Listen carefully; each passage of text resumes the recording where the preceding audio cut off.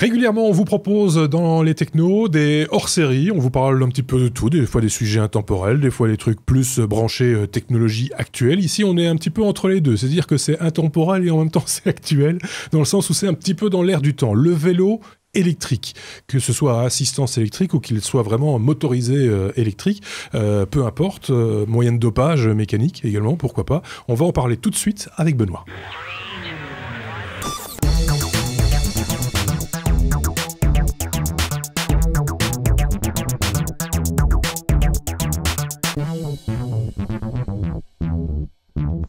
Va en parler avec Benoît, mais pas uniquement. On a également gardé avec nous euh, Xavier euh, pour euh, poser des questions. Toutes les questions qui passent par la tête.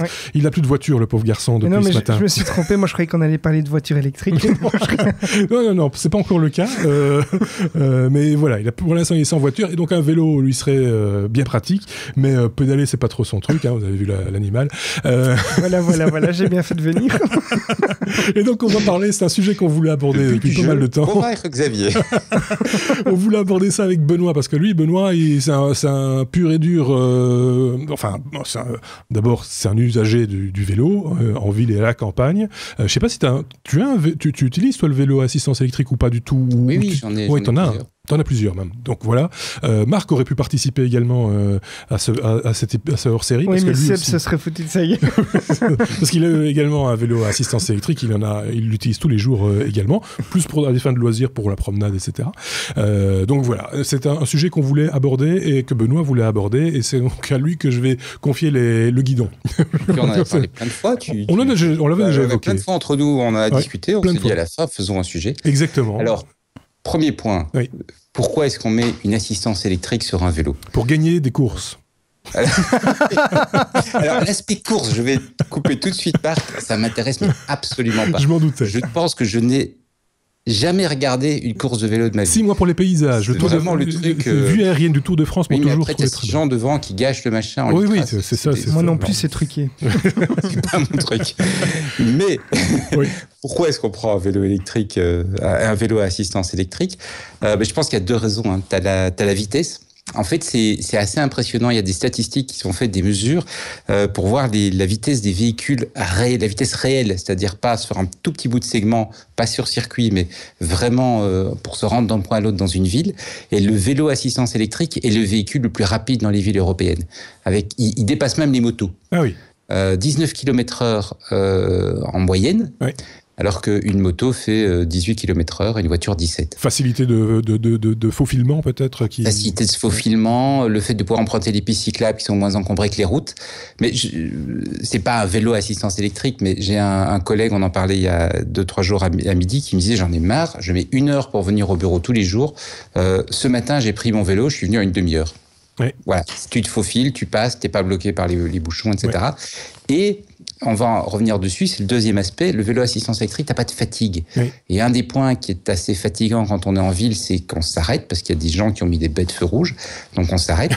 Euh, et puis il faut redémarrer, mais tu dois le faire souvent. Et donc c'est assez fatigant. Et le, moteur, l'assistance électrique, ben, euh, fait que le, redémarrage en fait n'est plus n'est plus une source de fatigue. Et ça aussi, ça fait gagner du temps.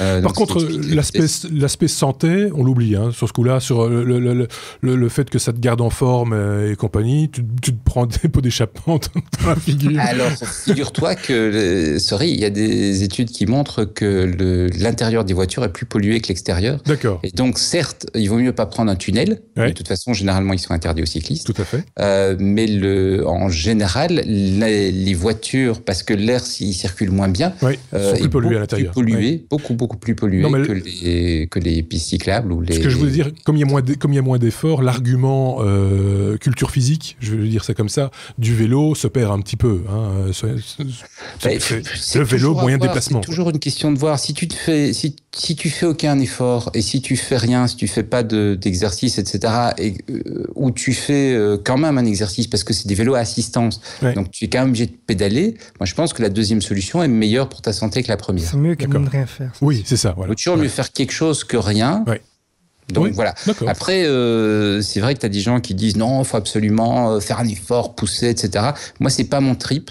Mhm. Euh, et je, me dis toujours qu'en final, quand je vois certaines personnes qui, euh, parce qu'on a, on a une salle de, de, le sport bien équipée au bureau, tu as des gens qui arrivent le midi, enfin qui arrivent et qui le midi vont, vont sur des vélos pour pédaler comme des malades et puis retournent bosser. Je préfère avoir pris mon temps gentiment le matin et avoir fait mon petit exercice tout sympa. Quoi. Sans compter que cette assistance électrique, même si, enfin, c'est comme tu le disais, c'est une assistance, donc il y a moins d'efforts à faire, mais ça veut dire aussi qu'on va pouvoir déplacer des masses plus importantes. Voilà, c'est un point effectivement important en termes de fatigue. Dès qu'on a des masses importantes du cargo, c'est clair que l'assistance électrique est, complètement justifiée. Il Cargo, ça veut dire les enfants. Il y a Marc qui m'a regardé, excuse-moi. Au moment où il a dit ça, il m'a regardé, je sais pas pourquoi.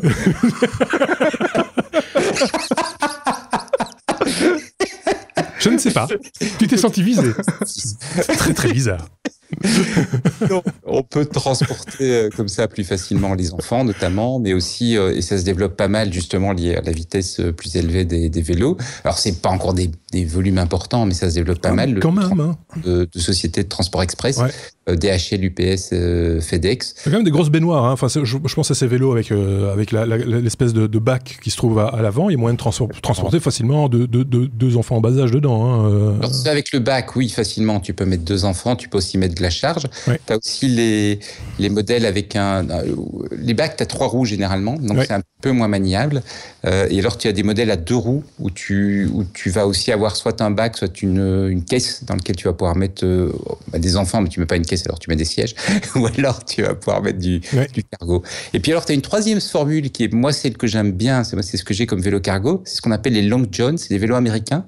Euh, c'est-à-dire que tu mets le cargo à l'arrière, donc ça se comporte un peu comme un vélo normal. Ils sont pas très connus parce que c'est des vélos américains, euh, mais ils sont super pratiques parce qu'ils se faufilent là où les autres n'arrivent pas à se faufiler. Les pistes cyclables en Belgique sont assez mal fichues quand elles existent, euh, mais vraiment mal fichues parce que tu as des points où tu sais pas passer et tout ça.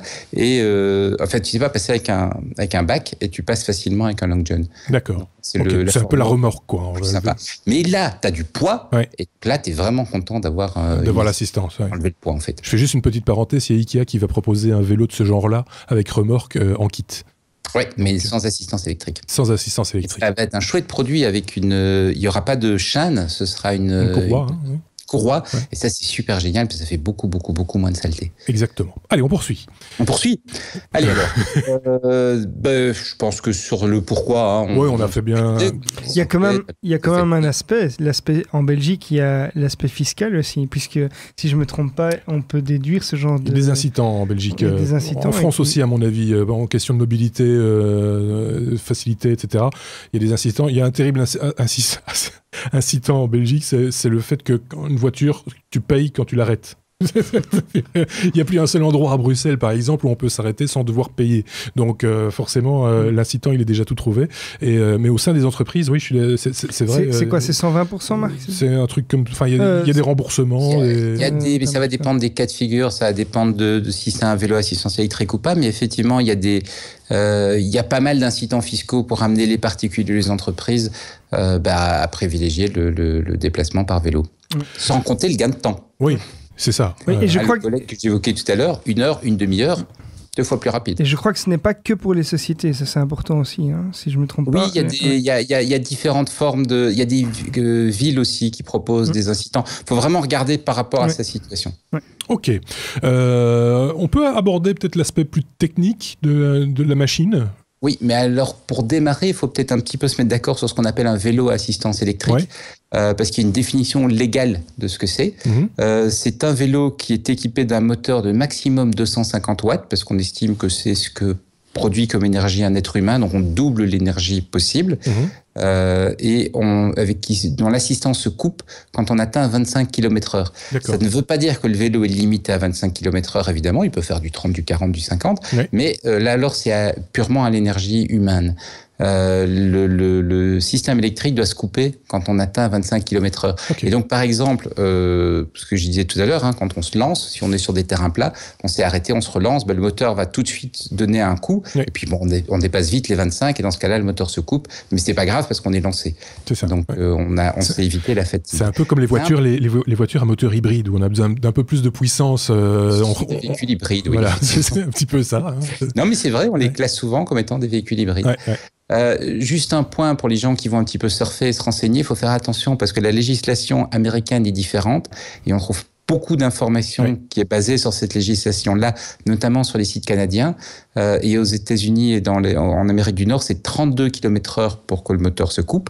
Et il est possible de faire euh, circuler le vélo sans avoir à pédaler. Donc chez nous, euh, le vélo doit, doit obligatoirement avoir une détection du fait qu'on est en train de pédaler. un mouvement et si c'est pas le cas, le moteur se coupe. C'est pas le cas sur les sur les sur le l'Amérique du Nord. Et en plus, leurs moteurs peuvent faire 350 watts au lieu de 250. Ils sont un peu plus dangereux. Et puis ils ont beaucoup plus de. Enfin, il n'y a pas que le vélo électrique. Il y a une législation qui encadre tous les, les véhicules à moteur euh, de ce genre-là, les skateboards électriques, les, les trucs à une roue dont on pourra reparler un petit peu plus tard, euh, qui sont des trucs un peu plus fun, hein, on va dire moins moins fonctionnels, mais qui existent existe également. Et si on passe au-delà de ces valeurs, 25 km/h, 250 watts, alors on est sur un cyclomoteur ou une moto. Oui, c'est ça. Donc là, port du casque, permis, euh, patati patata. Ça ne sert à rien de rajouter des pédales à sa moto, on ne pourra pas la, non, c'est le bon vieux vélo Solex. Euh, euh, parce que finalement, c'est ça, hein, c'est le vélo électrique. C'est ça, sauf que c'est un moteur électrique, donc il ne pollue pas, il n'émet pas de, Enfin, il ne pollue pas là où on l'utilise. Voilà, oui, c'est ça. Euh, et le, Bon, mais concrètement, qu'est-ce qu'on a? Ben, On a un vélo, et puis à un endroit dans le vélo, il y a un moteur. Voilà. Et ce moteur, bah, il va prendre le. Pas prendre le relais, mais il va compléter l'effort. Enfin, sur certains vélos, il peut quasiment prendre le relais, c'est-à-dire qu'il faut pédaler, mais on peut se permettre de pédaler très très doucement. Oui.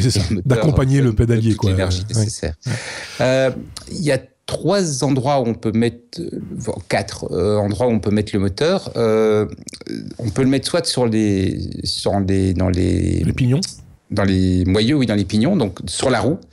L'avantage de le mettre sur la roue, c'est que ça permet de le rajouter facilement sur un vélo qu'on a déjà. D'accord. Et on vend en fait des kits, des roues euh, qu'on va pouvoir venir installer comme ça. Mhm. L'inconvénient, c'est que les moteurs sont un petit peu moins efficaces. Parce que euh, ben, au, démarrage notamment, le, le, vélo doit donner, le moteur doit donner un moment de couple alors qu'il est juste en train de démarrer. Euh, et donc, voilà, c'est pas le, c'est c'est des, des, chouettes formules pour venir euh, rééquiper un, un, vélo existant. Maintenant, les, les, plus puristes préfèrent mettre le, le, le système euh, non pas sur, le, sur le pédalier. Oui, c'est ça. En moteur central, en fait, comme on appelle ça. Oui, parce que je, je, voulais poser une question euh, par rapport aux vitesses. Euh, si, si, si, le, si, le, moteur est du côté pignon, j'ai toujours l'impression de parler d'un dîner de con, Monsieur Pignon.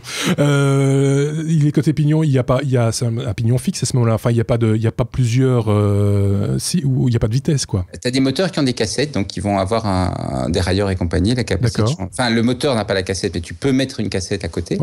Euh, par contre, ça s'utilise très différemment. Moi, c'est ce que j'ai euh, j'ai un cargo comme ça, qui est un vélo cargo qui est équipé d'une roue électrique comme ça, et ça s'utilise très différemment parce qu'en fait, normalement, euh, tu utilises tes vitesses bah, comme sur une voiture, quand il y a trop d'efforts, on baisse la vitesse.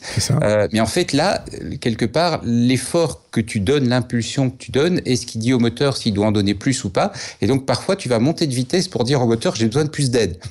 Mhm. Donc il faut un petit peu s'y habituer.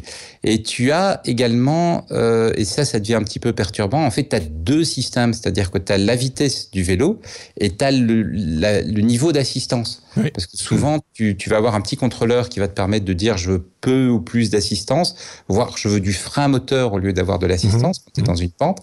Euh, et, et, donc c'est un petit peu confus d'aller jouer sur les vitesses et sur le sur l'assistance. C'est l'inconvénient, je dirais, de, de, de, ces solutions un petit peu hybrides où on vient rajouter une roue derrière. Le vélo au départ était peut-être pas nécessairement conçu pour ça. Donc la solution que toi tu préconiserais, ce serait plutôt celle avec le moteur côté pédalier. Hein? Alors je la préconise pas dans le sens où c'est pas simple de la préconiser. Ça dépend vraiment du, de, de, la façon dont on va. Le cargo, j'ai pas eu le choix. Je voulais le vélo cargo, il me fallait le cadre et il n'y a pas de moyen de le mettre au niveau du pédalier. Mhm. Euh, et donc, bah, je l'ai mis euh, sur la roue arrière parce que c'était c'était comme ça. Euh, la roue avant, c'est aussi une roue assez populaire pour mettre un moteur ah parce que si on a un vélo et qu'on veut facilement pouvoir l'installer, la roue avant, comme il n'y a pas de cassette, il n'y a rien, c'est une roue qui est pratique vraiment comme le, vraiment comme le, pour le coup comme le vélo Solex. vraiment pour le coup comme le vélo Solex. Maintenant, c'est vrai que les, la solution qui va te permettre, et, et, je, je, termine juste sur ça, sur la roue avant, euh, tu as un fabricant Go Cycle qui fait des, des, vélos euh, très haut de gamme, qui ne jure que par la roue avant. Euh, parce que leur logique, c'est de dire, ben, sur l'arrière et sur le, le pédalier, c'est la partie euh, humaine de l'hybride. Et donc, on veut séparer le moteur, avoir les deux qui sont gérés complètement séparément. Donc, il y, a des arguments qui vont un petit peu dans tous les sens. Mais le, les moteurs sur les roues, ça va généralement se mettre sur des systèmes relativement bas de gamme parce que mhm. ça va être des, des, des fabricants qui, qui, importent quelques pièces et qui font vite un, vélo comme ça, ou euh, pour rééquiper des vélos déjà existants. Et si on a euh, le, le, la possibilité, effectivement, la, la, formule qui va permettre d'avoir le maximum de, de comment de profiter au mieux de son moteur, c'est de le placer sur le sur le pédalier, mhm. parce qu'en fait là du coup il bénéficie des vitesses. Au lieu de se battre contre les vitesses, il en bénéficie. C'est-à-dire si tu baisses la vitesse parce que le moteur doit donner trop d'efforts, tu fais comme ça. Oui, comme, comme nous quand on pédale, quoi. Comme nous quand on pédale. Et du coup, tu, tu, donnes à ton moteur un petit peu plus de couple et du coup, c'est c'est euh, plus facile. C'est comme ça qu'on nous a généralement reconnu comme étant la solution un peu la plus luxueuse. Maintenant, il faut pas se leurrer. Hein. Entre un vélo électrique et un vélo pas électrique, euh, de toute façon, y a, c'est le jour et la nuit. Euh, tous les gens que je connais qui ont pris un vélo électrique s'en servent beaucoup, beaucoup, beaucoup plus. Oui, c'est ça. Parce que des tas de cas où tu vas te dire non, ça va être un peu trop fatigant, je risque de venir avec un petit peu de trop, je vais faire des courses, tout ça. Là, tu te dis, je m'en fous, de toute façon, euh, si je suis un peu trop fatigué, je vais pousser le moteur. Donc, faut pas en faire un frein. faut pas se dire, euh, je peux pas le mettre, je suis obligé de le mettre sur une des roues, du coup, j'en veux pas. On, a, on a vu récemment, on rigolait avec ça pour, euh, pour commencer ce, ce hors-série avec le dopage mécanique, mais mm. on a vu récemment des, des images, je pense que c'est sur France 2, où ils montraient avec une caméra infrarouge des points de chaleur sur le cadre du vélo, parce qu'effectivement, ce moteur, forcément, il y a un, entraînement mécanique, et donc euh, ça, développe une, certaine chaleur. On voyait que c'était vraiment dans le, dans le cadre, dans le... c'est assez compact en fait, hein, comme, mm. comme moteur, comme technologie, c'est assez bien, assez bien pensé. Et donc ça peut être très discret. Je pense à ça parce que quand tu dis on va l'utiliser plus souvent, c'est-à-dire qu'on va faire des courses, on va le laisser dehors, forcément, on va mettre un cadenas, machin, etc. Il faudrait pas se le faire gauler pour de mauvaises raisons. Je veux dire que ce soit euh, un, objet de, de convoitise plus qu'un vélo euh, classique, quoi. Alors c'est clair que certaines marques euh, qui fournissent des vélos, euh, en fait, tu deux types. Tu as les marques traditionnelles du vélo qui rajoutent des moteurs un petit peu parce qu'ils sentent bien qu'il y a un effet de mode et il faut bien le faire.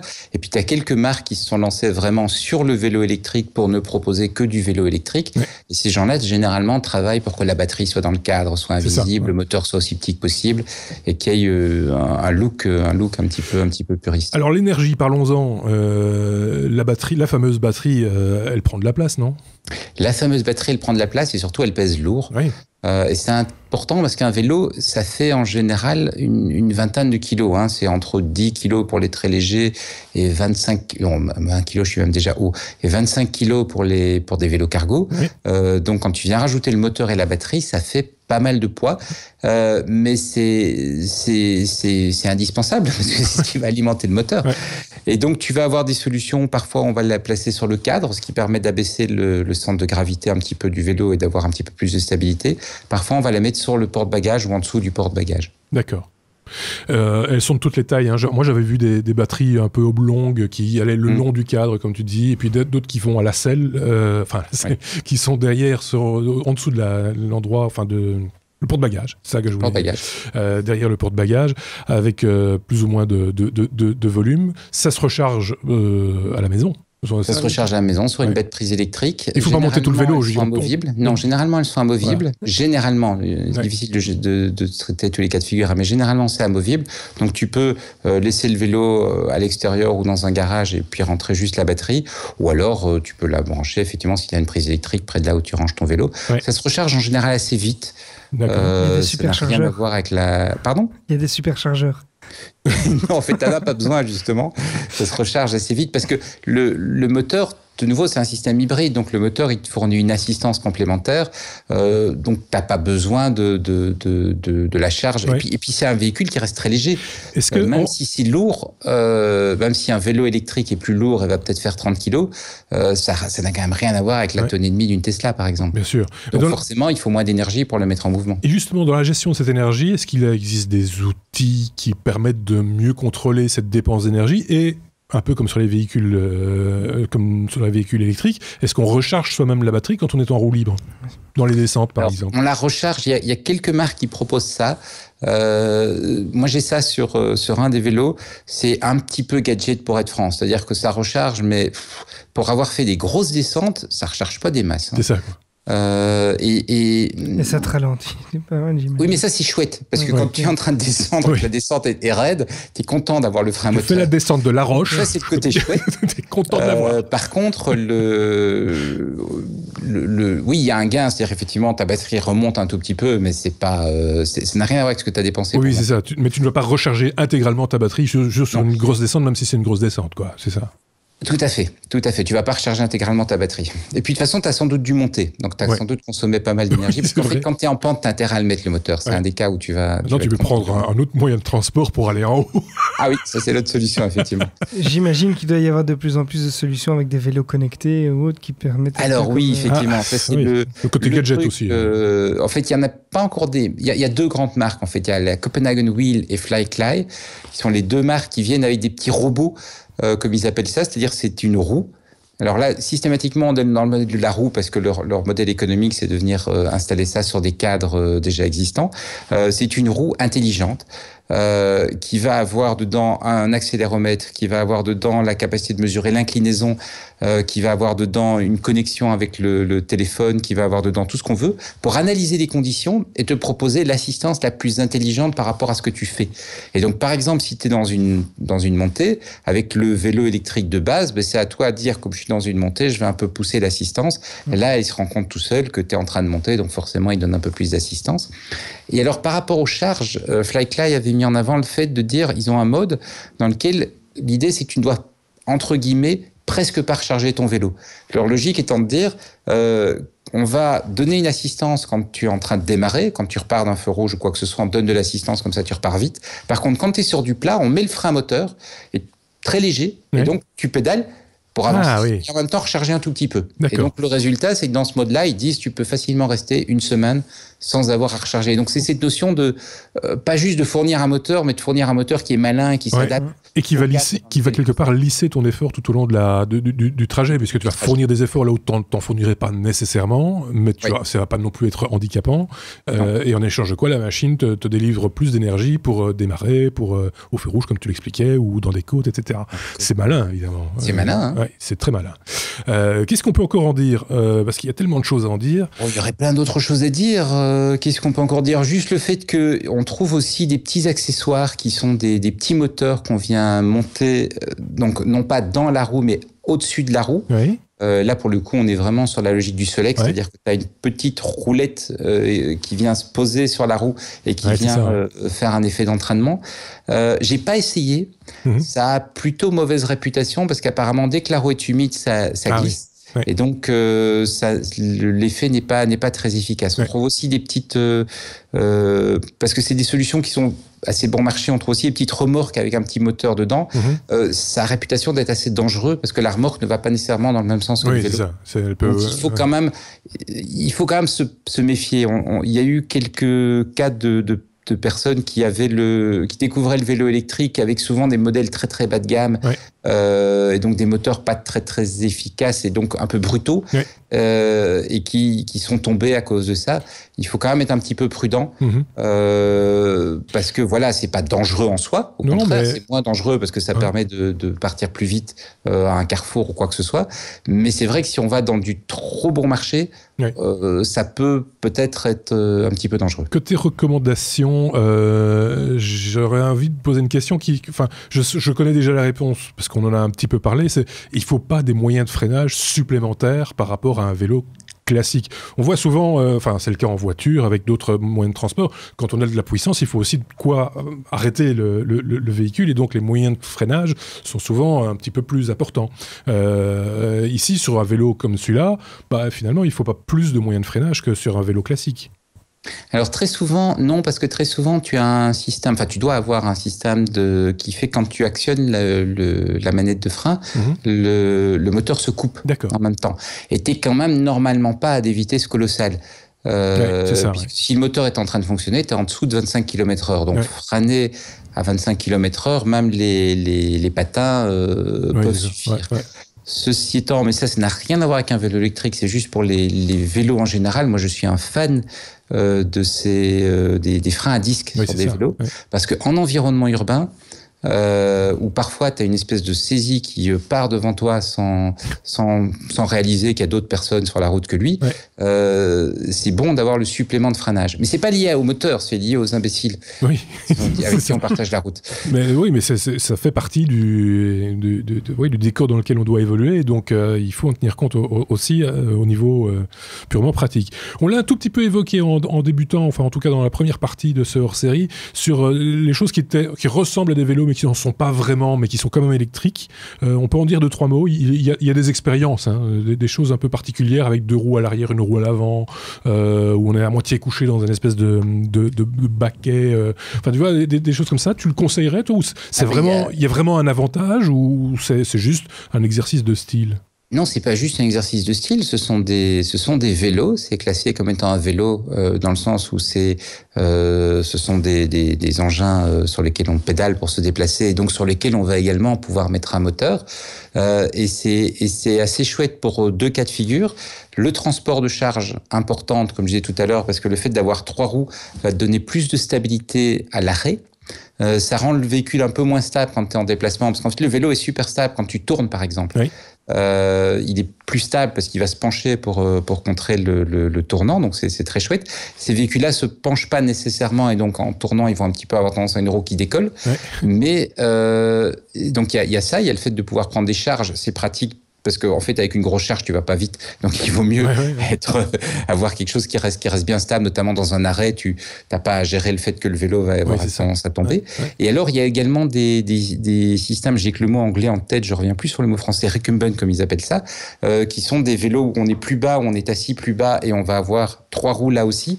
Et ça c'est euh, pas quelque chose que moi j'ai eu l'occasion de, de, pratiquer mais c'est des vélos qui plaisent visiblement beaucoup aux gens qui ont des problèmes de santé ah notamment euh, des problèmes d'équilibre ou qui, ont, qui sont trop âgés pour pouvoir être certains de pouvoir en permanence pédaler euh, avec l'énergie suffisante. Euh, parce que si on arrête de pédaler sur un vélo, de nouveau, bah, il y a une perte de stabilité. et donc là, comme on a trois roues, ben, on, on récupère ça. Euh, et donc des personnes qui ont, des, des, qui ont un handicap, qui ont des problèmes de santé, des problèmes d'équilibre ou plus âgés, apparemment aiment beaucoup ce, ce type d'engin. Et donc là aussi, le moteur se justifie tout à fait, puisque on est sur des gens qui ont un petit peu plus de mal à. C'est pas juste pour euh, se donner un profil aérodynamique particulier ou. Euh, Alors ça permet de battre des records de vitesse effectivement, dans le hein, sens où tu vas pouvoir avoir un vélo qui est, tu as moins de, de prise au vent. Et donc, effectivement, tu vas, tu vas plus vite. Tu parlais de sport tout à l'heure. Euh, je m'intéresse pas beaucoup au sport vélo, euh, mais je sais que ces, ces, engins sont interdits dans les courses parce qu'en fait, ils gagneraient systématiquement. Oui, bah oui, c'est ça. Bon, ben, euh, je pense qu'on a bien fait le tour de la question. À moins que tu aies un truc à, rajouter, Benoît. Euh, une question peut-être de la part de, de, Xavier ici. Je pense les avoir posées. Tu as tout posé, donc tu vas te mettre au vélo maintenant je vais peut-être être forcé là aujourd'hui, mais demain plutôt. Mais... non, mais ça, donne envie, très honnêtement, parce que euh, le, frein, c'est le moins, qu'on puisse dire à la prise du vélo, surtout en milieu urbain. Enfin, il y en a deux. C'est la, circulation, ça on en a parlé. Bon, il faut, faut, faire, avec, faut faire avec les oiseaux avec lesquels on partage la route. Euh, ça c'est un point. Et puis c'est surtout l'effort. Euh, et dans une ville, enfin ça dépend un peu de la ville où, on vit, mais je pense par exemple Namur, par exemple, il y a le haut et il y a le bas. C'est, euh, hein, on le voit d'ailleurs avec les vélos euh, qui sont mis à disposition de la ville, le camion qui fait souvent le voyage du bas vers le haut pour aller remettre des vélos dans le haut de la ville parce que les gens ne vont pas utiliser un vélo classique dans une ville où, il y a une déclinaison, une déclivité. enfin, ça dépend des trajets. Contre, aux Pays-Bas, il y a beaucoup de d'entraînement. Oui, mais c'est, c'est, c'est, pas idiot mais c'est au, au, plat pays, c'est le cas de le dire. Je, pense sincèrement que c'est pas ça. Je pense sincèrement que c'est une question d'entraînement, c'est une question d'habitude, mais c'est vrai que psychologiquement, ah oui, oui. Euh, tu te dis, euh, je vais pas, je vais pas oser. L'intérêt, c'est en ça que tout à l'heure tu disais en matière de santé, c'est pas chouette parce qu'il y a un moteur. Je suis pas d'accord. Euh, ça va t'amener à le faire. Tu vas te retrouver en meilleure forme, et puis le jour où ton moteur te lâchera, tu arriveras quand même à monter. Attention, ce que je voulais dire, c'est que c'est un frein, le, le frein qu'il pourrait y avoir avec un vélo classique, qui était ceux que j'étais en train d'énoncer, mais avec ce que tu nous as expliqué du vélo euh, électrique, c'est un argument ou un contre-argument qu'on peut balayer du revers de la main en disant, ben voilà, finalement, il y a d'autres avantages, entre guillemets. L'avantage suprême, et on va clôturer avec ça, c'est sans doute pas le prix. Euh, non, effectivement, c'est un petit peu plus cher qu'un vélo normal. Euh, la gamme de prix, c'est difficile de donner un prix parce que ça part vraiment, tu vois, de modèles euh, entrée, entrée de gamme qui vont peut-être à 500, 600 euros, plutôt 600. Euh, et ça peut monter très cher. Il y a des vélos euh, qui sont à, 5 6 000 euros. Euh, mais, il faut savoir que tu parlais de, de tout à l'heure de, de, de, vélo à trois roues, de tricycle, de triporteur. Tu as des triporteurs qui sont à 5 6 000 euros sans assistance électrique. Quand tu rajoutes l'assistance électrique, tu montes à 7 8 000. Il y, a, il y a par exemple, moi j'en ai vu, euh, mais c'est pas tellement vendu en, en, Belgique et en France apparemment, les skateboards électriques qui fonctionnent très très bien également. On est déjà dans des, des budgets qui avoisinent les, les, les 1200 dollars ou 1500 dollars quoi. Hein. C'est pour un mhm. skateboard c'est quand même pas c'est pas donné, euh, mais c'est voilà. Non, mais si c'est là c'est ici que ça vaut la peine de se renseigner sur les aides et les incitants. Exactement, comme on le disait un peu plus haut. Donc euh, voilà, on a essayé de faire un petit peu le tour avec Benoît, c'était l'idée, hein, parce que c'était un peu c'est toutes les conversations qu'on a eu jusqu'à présent mises bout à bout euh, dans ce, dans ce hors-série un petit peu plus long que, que d'habitude, il faut bien le reconnaître, mais le sujet est vaste. On aura peut-être l'occasion d'y revenir hein, si la technologie évolue ou s'il y a de, des, des, nouveautés en, la matière ou alors dans des sujets plus spécifiques dans, dans, les épisodes hebdomadaires avec Benoît ou un autre de nos amis technophiles. Euh, merci en tout cas, euh, Benoît, pour, pour cette approche. Et si on a des questions, on n'hésite pas à les poser. On regarde cette vidéo ou sur notre site lestechno.be ou sur informaticien.be. Toutes les questions sont les bienvenues. On essaiera d'y répondre. Benoît essaiera d'y répondre également. Euh, merci en tout cas de nous suivre. On vous souhaite ben, de bons efforts. Pédalez bien et à très bientôt. Au revoir. Au revoir.